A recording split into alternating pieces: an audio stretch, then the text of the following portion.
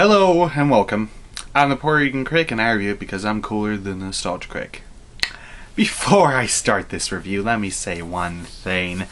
I created an intro for my show, but YouTube, being the jerks that they are, decided to that my video can't be shown because I'm using this on They Don't Care About Us. So truly, YouTube doesn't care about us. Okay, but in all seriousness, let me put that aside. I decided not to do the uh, music intro because in a way I felt it took too much away from the review and in a way I felt this show doesn't really need an intro. Maybe at some point later on, maybe like another season, yeah, I'll do an intro, but as is right now, I think it's fine. So, let's skip that and let's get to the meat and potatoes of this review. Why say meat and potatoes, I don't have any catchier phrases. But anyway, like I did before with my Deep Red review, which for those of you who haven't seen it, because I had the intro in there and I didn't feel like re-uploading it without the intro and all that, because that's extra work. I don't know. Just click down the link below. You'll see it to my previous review of Deep Red. Okay, I'll wait.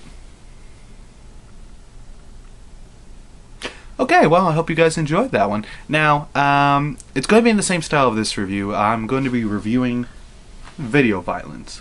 Specifically the first one. This comes with Video Violence 2, but I'm not going to review Video Violence 2. I'm sorry. It's just not not that good of a movie. Sorry. But Video Violence is really good. It's one of the best shot on video horror films I've seen. It takes a premise such as this. A small out of the way town whose preoccupation with violence, like rinse splatter movies, all these you know, just slasher films, all these really gross horror films. And this new couple in town opens up this video store, realizes that's happening, and the husband gets these videotapes of snuff films of people getting killed on video. And it's about him trying to figure out, you know, how to get the police involved, but the police are no help, and how he really finds out maybe the whole town is in on this. It's a really dark film. And it takes upon itself to create these outrageous special effects. Like the gore effects they have on this are really, really cool. And I can't show you the back because, you know, it's a little bit bloody. Hold on, maybe I can show you that. There. That's about it. That's all I'm going to show you. Sorry, no more. There. But the special effects are really good, and the premise itself is really interesting. Now, the premise came to the director. Uh, I believe the director's name was Gary Col- Gary Corman. Yep, Gary Corman. Now, it came to him when he used to work at a video store with his parents. One day, this uh, young woman comes in with uh, two of her kids. She comes up to Gary Coleman, not Gary Coleman, Gary Corman. Sorry, whatever.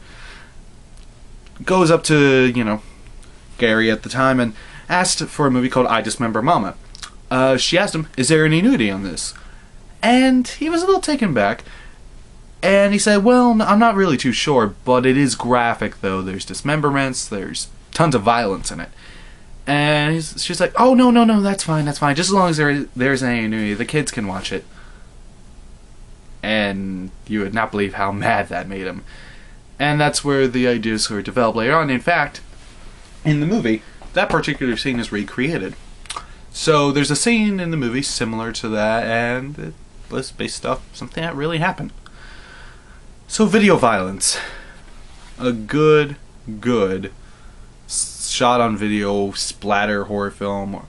It's got a dark comedy to it, really dark comedy. Uh, from the two uh, characters, Howard and Eli, they are quite possibly the funniest, craziest guys in this movie, and I'm pretty sure they were meant to be intimidating and scary, but they came off as comical.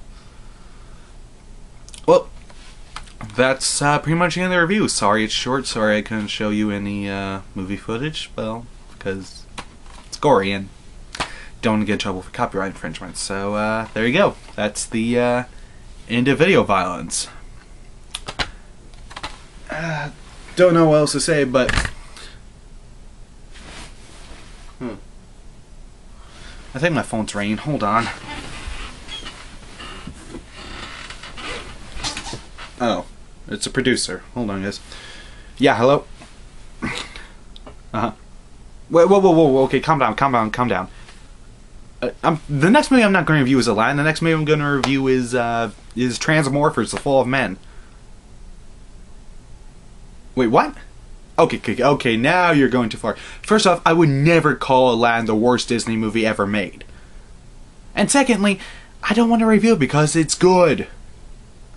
It's too good to. Re- what? Okay, well, what other critic has the same name as me?